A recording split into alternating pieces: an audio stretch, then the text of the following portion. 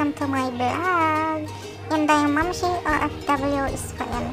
At dahil nga winter dito ngayon sa Israel, mga kainday Mamshi, tayo ay magluluto ng chicken soup, mga kainday Mamshi.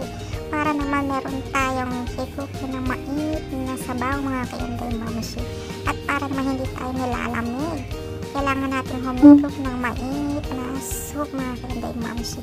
At yes, mga kainday Mamshi, kumukulo na ang ating chicken soup, mga kainday Mamshi.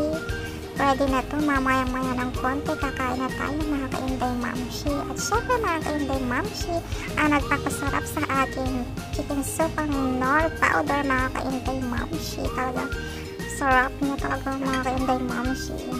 Syempre pwede na ang ating chicken soup mga kainday mamshi, kakain na tayo. At meron pala akong ipapakita sa inyo mga kainday mamshi. Ito pala yung nilalagay ko sa chicken soup, sa mga soup mga kainday mamshi.